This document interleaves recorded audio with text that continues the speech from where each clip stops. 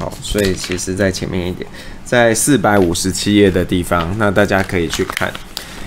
就是说，我觉得这个呃，你可能不一定有时间呢，还是整个复习统计课本。但如果没有时间的话，就参考这个部分，其实就足够了。好，那我们会使用两个工具，一个叫做 JASP，然后另外一个是 Excel。那为什么没有特别说要用 SPSS？是因为 SPSS 是一个要付钱的软体，那各位未来可能不一定有办法去使用，所以呢。要请大家就是去下载，那你只要输入在浏览器输入 JASP 就会找到了。那在学校下载有时候可能会有问题，然后有时候会闪退。那闪退的一个解决方法呢，就是用这个管理员的身份去开，通常就会解决这个问题了。好，那大家可以呃下载一下。那我这边已经下载好了，所以我让大家看一下这个呃会是长什么样子。好，所以呢，呃，你安装好之后，JASP 会在你呃这边就是叫 JASP。那这一个在 Mac 上面也有，所以如果同学是使用 Mac 的话，就是可以用这个呃 Mac 的版本。好，那打开之后就长这个界面。那基本上其实呃操作非常简单，等一下我们就会呃带大家去使用了。好。那我们现在呢，就先来看第一个要做的事情。那第一个要做的事情呢，是要教大家做所谓的频率分析，也就是去计算次数。那这当然很简单啊，可是要怎么样轻松的把它做好，是有一些呃小秘诀的。那我们先用 Excel 来做。那这一边呢，这个呃公式大家要记一下，我会把这一个呃 PPT 放在。创客，所以大家到时候可以直接拷贝这个公式。那我们现在呢要使用的是一个呃范例档，那这个范例档也都会放在创客上，所以大家可以去下载。好，所以现在我们要来打开这个范例档，然后我把 PPT 也放在一边，让大家等一下可以看。稍等一下啊。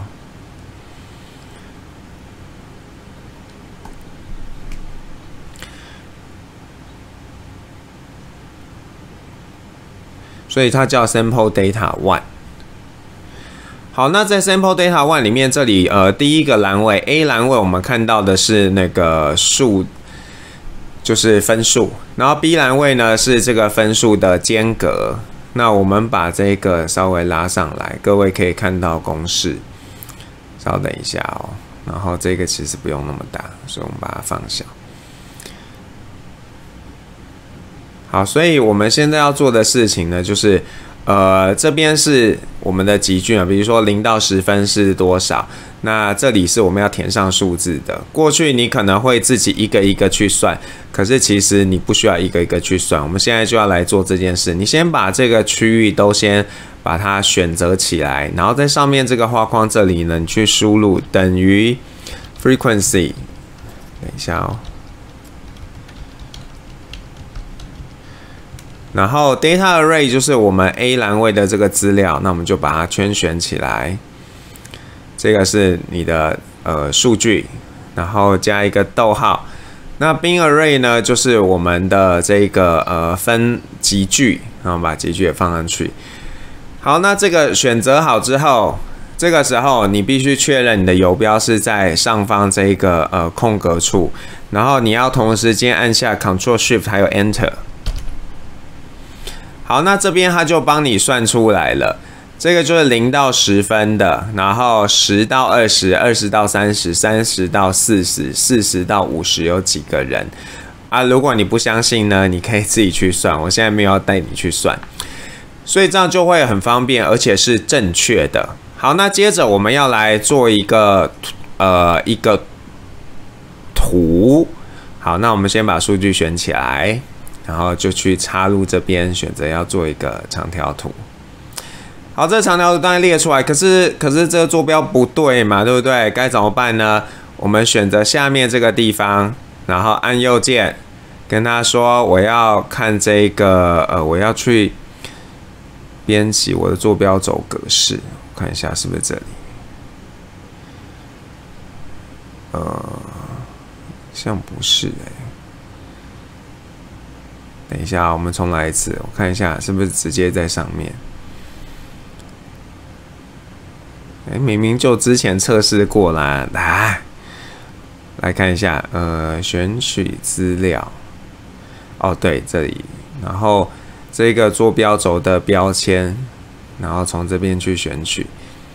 所以我再重来一次，就是说我们这边按右键之后，然后呃选择，等一下，先选到这一个坐标，x 坐标，按右键，然后呃选择资料，选取资料这里，坐标轴标签，那这个标签呢，我们来告诉它是什么，所以你就要告诉它标签是在这个地方，按确定，那。再按确定，我们看到这个分数的标签就标上去了，所以这样的做法你就会非常的方便嘛，你就不用自己在那搞老半天，那这样就完成一个基本的图表了。那只是这一个对各位来说可能不一定有用，因为除非你分析的数据是这种分数等级的，那但是这一个改坐标轴的部分对各位是有帮助的，因为你只要去呃。在这，我们再示范一次。选到 X 轴之后，按右键，然后从选择资料这里去编辑坐标轴的标签。那这样的话，就可以轻松的把标签加上去。好，那这个是用 Excel 来做的。那我们呢，如果要用 JASP 来做，该怎么做呢？首先，你要把这个档案存成一个 CSV 档。那我其实已经有转存了，所以大家直接在创客上面也可以下载。那我们打开 JASP 之后呢，要先按左左上角的这一个按钮，按下去之后，你选择 Open，然后你跟他说啊，我要找一下我电脑上的档案，然后是放在桌面的零五一一底下。那这里呢，它会显示的是它可以开的档案，所以就是这个 CSV 的。呃，我们等一下才用到下一个。好，那我们把它开启。那开启之后，哎，你看到这就是你要的资料嘛？那我们可以从描述统计这边。去选择这个描述统计，descriptives now descriptive statistics。那你刚刚讲你要的是什么？当然是第一个栏位嘛。好，所以他就帮我们算出来了哦，平均数是多少？那如果我们想要画一个呃集聚嘞，你可以请他帮你画图，然后他就帮你画出来这个图了。那当然这是他自己自己设置的啦，所以很多东西我没办法选。不过你看这边还可以帮你算百分等级，就是多少百分等级是几分，还有呃平均数、中位数、众数，还有总数是多少，它都会直接帮你算出来，那就很方便。而且这一个图也是可以呃，就是这个结果都是可以另外去储存的，所以你可以 copy 或怎么样子把它拷贝下来。好。那这个部分呢，就要呃，请大家来自己来做一个练习。那这个练习就是呃，各位就直接拿我们的那个 sample data，然后去跑就可以了。那可以试着玩玩看。那当然也可以自己有兴趣的话，拿别的资料来做也 OK，这都是可以的。好，那接下来我们要教大家另外一件事情，就是说，呃，如果今天啊，你想要做的事情是真的去看一些资料，然后把这个资料做一个处理，那怎么做呢？那我们等一下会示范从这个台北市政府的开放资料库里面下载的一个档案，然后带你们去做。那这个档案呢，呃，我们先把它打开来。OK，等我一下哦，来切换一下画面。所以这个档案就是这个一零五年三至八月的这个档案。哦，等等，不是这个，因为那个是被我整理过的。然后看一下哦，我们昨天又下载了一次。好，我们会确保大家看到的答案是对的。哒哒哒，不要储存。好，这个是各位在那个资料库上面载下来会看到的档案。然后这里就是呃一九九九专线接到的电话。然后这个电话上面呢会显示说呃是哪一个区的什么位置，然后他做了什么样的一个需求，所以我们可以看到这边呃有这样的需求。那我们现在如果想要让这个做有意义的分析，这个很乱嘛，所以如果想知道，哎，到底每一个区他们不同的派工项目有什么样的差异性，我要怎么做呢？那首先我们需要用到一个功能叫做资料剖析，各位可能没有用过，但是这是一个很好用的功能。所以我们现在要选择这个栏位，因为这个栏位是有地址的，可以帮助我们去做一个区域的划分。那我们要到资料这一个地方，我看一下，我要确定有录到，总是很焦虑，录了很久然后没录到。好，这边有一个呃资料，这里选资料剖析。然后呃，就选择下一到下一步，然后你跟他讲，呃，在下一步，等一下错的错错，我们要固定宽度，然后下一步，那要多宽呢？就是三个字嘛，因为是什么区什么区，那我们就是以这个为单位，然后按下一步，它，然后就完成了。然后问你要不要取代，我们就说要取代。当然，这个立案时间也是可以不要取代了。但是我们现在先把它取代了。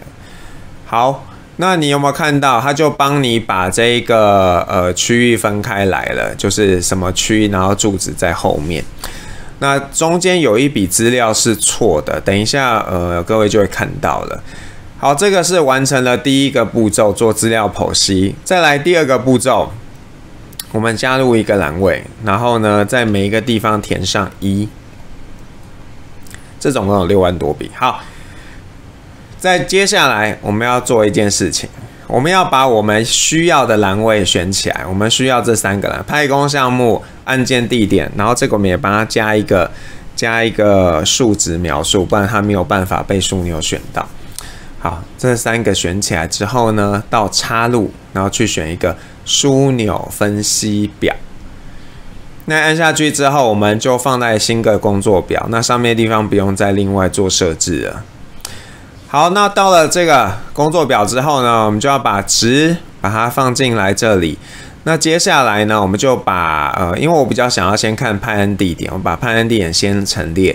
所以这里你就可以看到哦，所以每一个地区大概是有多少案件。然后你看这边又看到一个中山北，这就有问题，因为它应该是中山区，可是他们打错了。好，然后更神奇的是，你可以把派工项放下去。那就可以看得出来，每一个区、每一个派工项目的数量是多少，然后这都可以缩放起来。那各位如果可以做到这样的话，你其实，在工作上就会省下很多时间。你如果不会这样用，你会一个一个去算，然后这还可能会算错。那当然，如果你今天更在意的是派工项目，我们也可以做这个调整，就是你先看到派工项目，然后再按按键地点。所以你就可以看哦，所以呢，在台北市民啊，最常做的事情是什么？所以看起来最常做的事情应该是那个大型废弃物的联系，因为总共六万多笔资料，然后有两万七千多笔是呃去谈那个部分的。那另外噪音举呃场地还有噪音举发也非常的多。所以这个是单纯就是从政府资料库上面载下来的东西，就可以帮助我们去呃问一些问题。所以呃大家不要觉得这些东西离各位很远，因为它真的只是你要知道该怎么样去做。好，那现在我们来开一个浏览器，带大家实际去看，就是说我们怎么样去找我们可以玩的资料。好，那个是 Data Type，然后我们先从呃这个资料目所有资料库或资料清单下载好了。呃，不要这样，从所有资料集。好，那因为呃我们要 Excel，这样这个如果你会 Python 或者是其他语言，你可以用更进阶的语言啦。但是我们想说就单纯一点，所以我们让各位呢就是找 CSV 的。因为 CSV 或 XLS 都可以，所以我们先来看这两个，把这两个都勾选起来，然后你就会看到一些资料。那有一些就是像我刚刚这个，呃，一九九九派工是比较适合拿来做处理的。当然也有一些别的，比方说，我们来看好这个好了，行道树分布图。那我们就点显示更多，然后这里可以下载，所以有行道树资料，我们来看看行道树资料。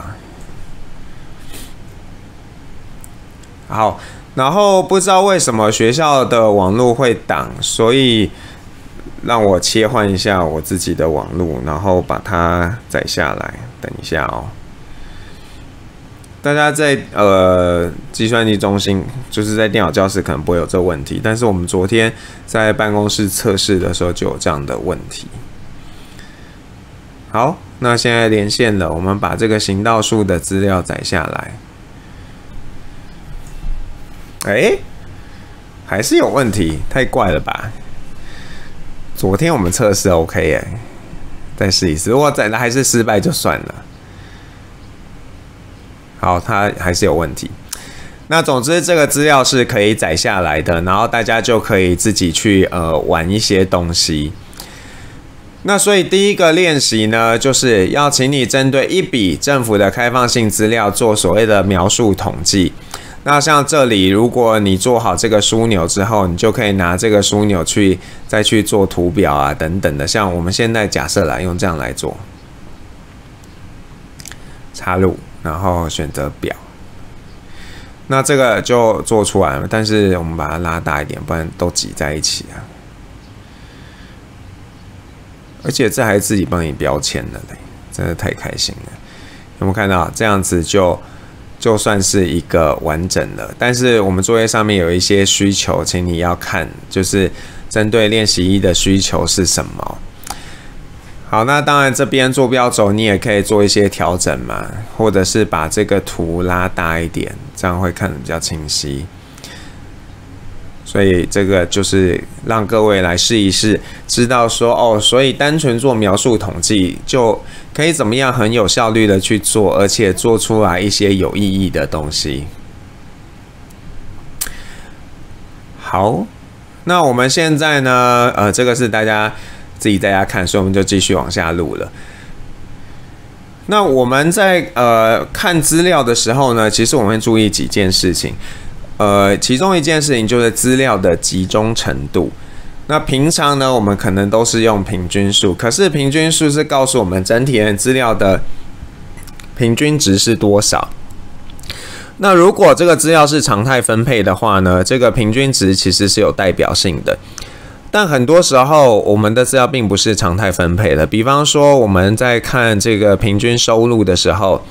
这可能就会是一个呃低收入的很多，高收入的很少，但是因为有些人收真非常大，所以它它会让平均值呢会变得呃非常的就是 不太能反映现实，所以大家每次在看什么平均收入会觉得嗯怎么可能那么高，就是因为这个原因，所以在那个时候呢，你去看平均数就不一定是一个好的指标，你可能要去看中位数。那这些呃都是可以去看的，都是帮助我们去了解，诶，这个资料分布是不是有什么状况？那如果你是一个常态分配的资料类型的话，这三个数字众数、中位数还有平均数，应该是相对而言是很接近的。但如果不是常态分配，有这种呃偏态的状况的话呢，那这些数值就会不一样了。所以我蛮鼓励大家可以拿一笔数据来玩一玩，看看诶，这个结果到底是长得像什么样子的。好，那另外一个我们会看的呢是这个资料的变异程度。那所谓的变异程度又有三个指标可以看。第一个呢就是变异量，也就是说这些数据距离平均数，就是整个的平均数而言，它们的变异程度是多大的。那这个呢，会是把每一个数值减掉每一笔资料减掉平均数的平方，所以这是 variance 变异量。那当我们在算标准差的时候呢，我们就是会把这个 variance 去做一个就是开根号，然后就会变成是你的标准差。那如果把标准差呢除上你的人数的开根号就会是标准物，那在不同的时候，这会有不一样的需要。那通常比较少会直接呈呈现 variance 变异量，我们比较常会呈现的是标准差。所以各位在看资料的时候，它都会呃，英文的话会用 SD 来表示。那这一个呢，各位就可以参考。然后呃，这些东西其实就是告诉我们，诶，这个数据如果数据的这个变异力量太大的话，我们会有一点顾虑，我们会不知道说，诶，到底今天这个情形是不是有一个什么样特殊的状况？所以，呃，我们在看资料的时候，不是只看平均数，我们也会去看变异量的一个差异。那在我们画图的时候呢，我们呃会画标平均数嘛，但是另外我们就是会那个标准误，就是我们标记的误差，让大家可以做一个参考。那这个部分呢，我们呃要来示范怎么样画。所以呢，我们现在先。来看刚刚的那个 data sample one 的这个资料。好，那呃，我来切一个画面，所以在这里我们才能够看到那个 Excel 的档案。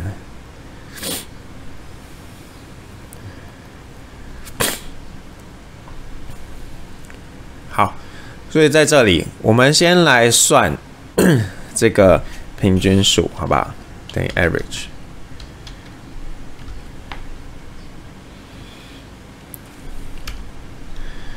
好，平均数是这个，然后呢，STD 这边有好几个，你看这标准差吧，我们就用这个好了，标准差。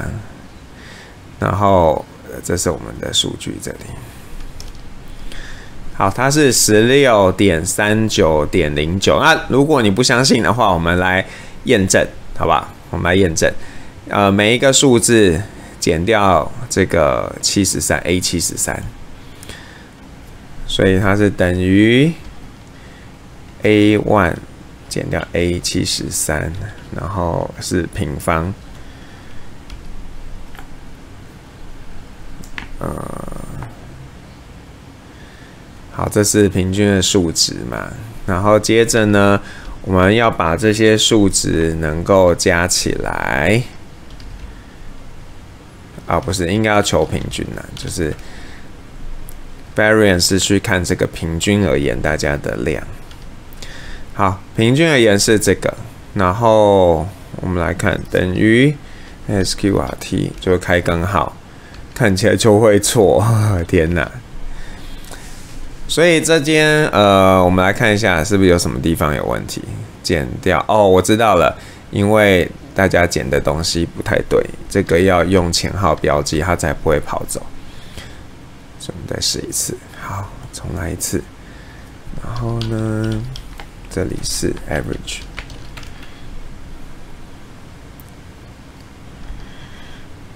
然后这里等于 sqrt b 七十三。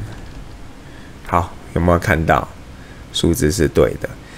所以就是我们在看变异量这边，我们刚刚计算的是变异量。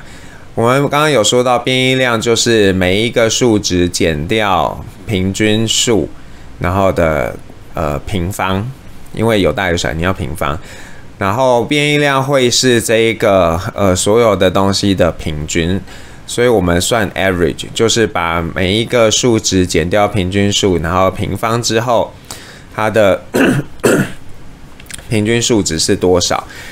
那这一个变音量开根号就会是我们的标准差，然后如果再把标准差除上人数的开根号，因为我们现在知道我们的人数是七十三个人，所以我用 sqrt，然后这边是告诉他七十三，我的标准物就是一点九一。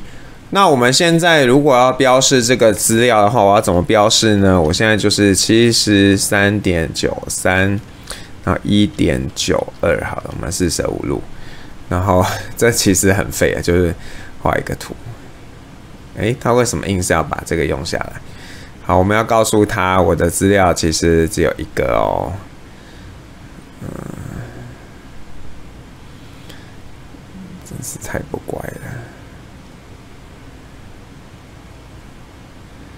他很像不能接受，世界上只有一笔资料。哎，好，哒哒哒确定。好，他不喜欢这一个资料，他觉得一个资料不能画表。没关系，我们就来示范。所以现在我在呃这一个地方设置的新增项目，去选这个误差线，然后呃我要告诉他我要其他的误差线嘛，所以我们要只显示上面，就是只要有正差，就是会往上的。那我要跟他讲，我要自己去定义，所以我自己定义的正差就是这个数这个栏位的数值。然后负差也是一样，但是因为我只呈现正差而已。好，那各位可以看到，我们这里就标出来，当然这个是错的啦。所以 这样子才是一个 正确去标记资料的方式。那在 Excel 里面当然可以做很多的事情，所以我们也会一般而言我们会尽量不要浪费空间，所以呃。我会让它间距是小一点的，就是虽然看起来胖胖的，可是间距小一点。那你这一个呃数据就不一定，就都说看你的数字的状况。那像 要我们要做的事情，就是要让人家看到这个呃图的时候呢，就能一目了然，知道他要的东西是什么，然后有没有都呈现了。好，所以在这里头呢，我们就是呃示范了怎么样去画出标准物，还有这个变异量、标准差之间的关系是什么样子的。那这个部分呢，大家如果在统计忘记了，现在可以想办法把它稍微记起来。好，那我们再再往下头来看。好，那再来我们会做的事情是把数据标准化。那数据标准化的意思就是，因为有的时候呢，你直接看这个数据的平均数，它真的是没有意义的，因为可能这个变异程度很大，那不能够真正反映状况。而且你有时候想要去做一些嗯跨分数的比较嘛，比方说你期中考考几分，期末考考几分，你想知道，诶，到底整体来说，你期中考考得好，还是期末考考得好？那你就可以利用这个自分数的转换。那自分数的转换呢，就会是你这个数值减掉平均数，然后除上这个标准差，就会得到这个自分数。那如果自分数是零的话，就表示你这次的分数就是跟平均分是一样的。然后，呃，像我们一般在筛选资料，我们大概是取正负两个标准差，因为这个就会占了呃九十几 percent 的一个资料了。那个在统计里面常态分配，大家可以回去看那个图表，就会想起这件事情了。好，那这边有一个练习二。那这个我们现在就不讲，反正礼拜一上课的时候会带大家去演练。那其实这没有很难，就呃试着算算看就可以了。好，那再来呢，我们会呃需要去看这些数据之间是不是有关联性。那这个关联性本身也很容易，就是在 Excel 里面，你只要打入。等于 C O R R E L，然后告诉他你要看两两笔数据之间的关联性就可以了。那这个部分呢，我们呃没有特别准备资料，因为这很简单，所以我们把刚刚那一个 sample data 里头的资料，我们就随意把它拆成拆成两半。我们贴一个新的资料表，然后呃这一个是七十三笔嘛，所以呃大概是三十六。然后我们把多的一笔资料把它删掉。哎，只有七十二，好吧。然后这里我们就告诉他，我们就输入那个哦等等，呃，画面没有录到。来，好，我们来看。所以我现在把那个资料，就是刚刚 sample data one 的这呃栏位的资料，把它分一半，然后就去。做 C 等于 C O R E L，然后告诉他，我第一个是要看 A one 到 A 三十六跟 B one 到 B 三十六之间的相关。那他给你的是相关系数，等就是 R 等于点一二一五，可是这并没有告诉你它的那个显著性。那我们现在呢，把这一个资料表做一个移动，产生一个新的活页簿。好，所以这个先删掉，然后我们帮这个加上一个名字，D one，然后这是 D two，然后记得要用 ZESP 的时候，存档要存成 CSV 档，所以我会跟他讲。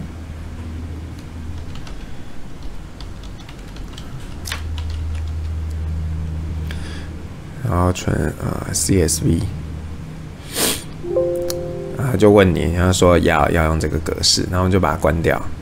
好，你要不要变？要不要储存变更？说不要，因为已经存好了。好，那现在我们需要打开 ZESP，所以再回到 ZESP 这边，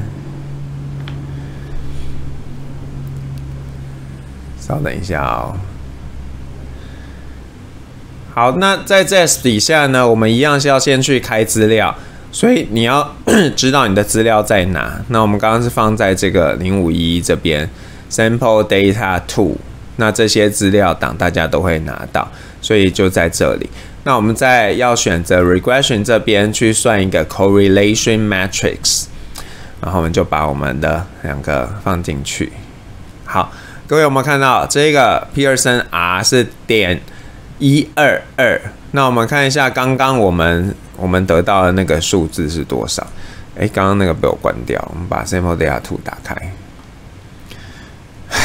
就我已经被我删掉，没关系，我们再来算一次，a one a 三十六，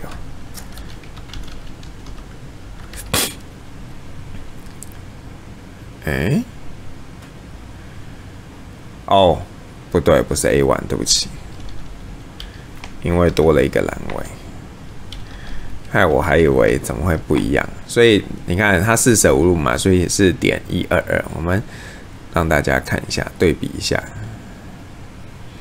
所以点一二一五，然后这边它是四舍五变成点一二二，然后告诉你 p value 是点四八零，就是不显著。好，那。这边就是用 JASP 来去做这个呃相关，所以其实是很简单的。那在 JASP 里面呢，还有一个很重要的功能，就是它可以帮你做背式统计。那倍式统计呢？呃，是未来的趋势，或者说现在已经在发生了。那这边它会告诉你，Bayesian factor 是点二六四，所以你就可以去呈现这个值就好了。那这个有什么好处呢？因为它相较于各位熟悉的这个虚无假设检验呢，它是。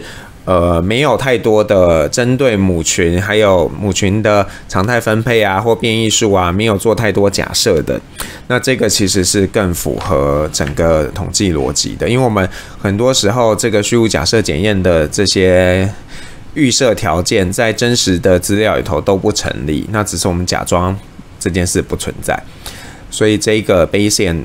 的呃统计方法是各位未来可能会更需要的。那用 ZES 最大的好处就是它所有的分析都有做背线的方式。